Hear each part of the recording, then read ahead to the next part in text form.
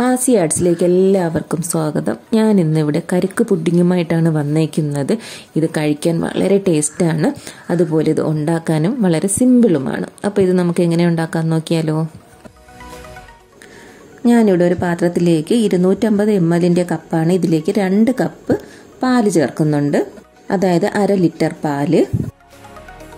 ഇനി ഇതിലേക്ക് അര കപ്പ് പഞ്ചസാര. കാൽ കപ്പ് കണ്ടൻസ്ഡ് മിൽക്ക് അപ്പോൾ നിങ്ങളുടെ കയ്യിൽ കണ്ടൻസ്ഡ് മിൽക്ക് ഇല്ലെങ്കിൽ കുഴപ്പമൊന്നുമില്ല. നിങ്ങൾ പഞ്ചസാരയുടെ അളവ് കുറച്ചും കൂടെ കൂട്ടിയാൽ മതിയാകും. ഇതെല്ലാം മിക്സ് ചെയ്തതിന് ശേഷം നമ്മൾ മധുരം നോക്കുമ്പോൾ നമ്മുടെ മധുരം കുറച്ച് അധികം നിൽക്കണം. ആ ഒരു പരുവത്തിന് വേണം നമ്മൾ മധുരം ചേർക്കാനായിട്ട്. ഇനി ഇതിലേക്ക് ഒരു ഏഴ് ടേബിൾ സ്പൂൺ കോൺഫ്ലോർ ചേർക്കണം. കോൺഫ്ലോർ കുറേച്ചായിട്ട് ചേർത്ത് കട്ട കെട്ടാതെ നമുക്ക് ഇളക്കിയെടുക്കാം. ഇനി നമ്മുടെ പുഡിങ്ങിന്റെ മെയിൻ ഇൻഗ്രീഡിയന്റായ കരിക്കിൻ വെള്ളം എടുക്കാം. ഞാനിവിടെ ഇരുന്നൂറ്റമ്പത് എം എല്ലിന്റെ കപ്പിൽ രണ്ട് കപ്പ് കരിക്കിൻ വെള്ളമാണ് എടുത്തേക്കുന്നത്. അതായത് അര ലിറ്റർ കരിക്കിൻ വെള്ളം. ഇനി ഇതിലേക്ക് ഒരു കരിക്കിന്റെ പൾപ്പാണ് ഞാൻ എടുത്തേക്കുന്നത്. ഇനി ഇതൊരു മിക്സിയുടെ ജാറിലേക്ക് ഇട്ട് കൊടുത്ത് നമുക്ക് നല്ലതുപോലെ ഒന്ന് അരച്ചെടുക്കണം. ഒരുപാട് പേസ്റ്റ് ഒന്നും ആക്കേണ്ട കുഴപ്പം ആവശ്യമില്ല. കുറച്ച് തരിയായിട്ട് കിടന്നാലും പ്രശ്നമൊന്നുമില്ല. മിക്സിയിൽ അരച്ചെടുത്ത ഈ പൾപ്പ് നമുക്ക് നേരത്തെ റെഡിയാക്കി വെച്ചേക്കുന്ന പാലിലേക്ക് ചേർത്ത് നല്ലതുപോലെ ഒന്ന് യോജിപ്പിച്ചെടുക്കാം.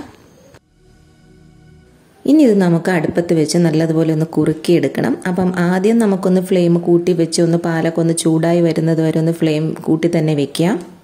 ചൂടായി വന്നതിന് ശേഷം നമുക്ക് മീഡിയം ടു ലോ ഫ്ലെയിമിൽ വെച്ചിട്ട് വേണം ഇതൊന്ന് വേവിച്ചെടുക്കാനായിട്ട്.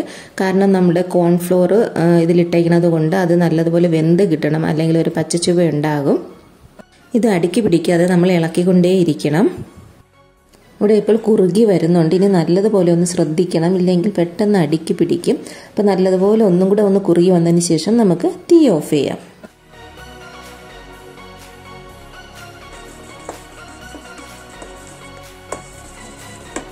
അച്ഛൻ വിളിച്ചേട്ടാ അച്ഛൻ എത്തിയും പോകുന്നു. അച്ഛേ വിളിച്ചു.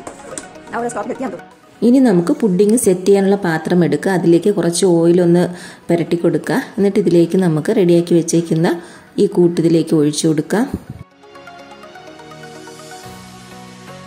എനിക്കിവിടെ രണ്ട് പാത്രത്തിൽ സെറ്റ് ചെയ്യാനുള്ളത് കിട്ടിയിട്ടുണ്ട്. അപ്പം ഞാൻ കുറച്ച് അധികം ക്വാണ്ടിറ്റിയിലാണ് ഉണ്ടാക്കിയേക്കുന്നത്.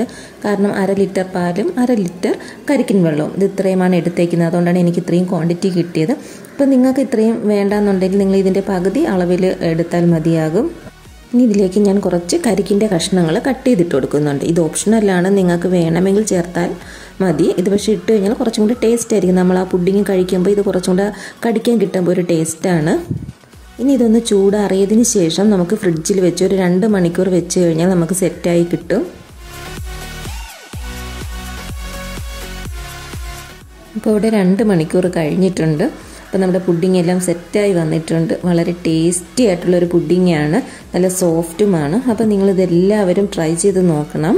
അപ്പോൾ ഈ വീഡിയോ ഇഷ്ടപ്പെട്ടെങ്കിൽ ലൈക്ക് ഷെയർ കമന്റ് സബ്സ്ക്രൈബ് ചെയ്യുക. അടുത്ത വീഡിയോയിൽ നമുക്ക് വീണ്ടും കാണാം.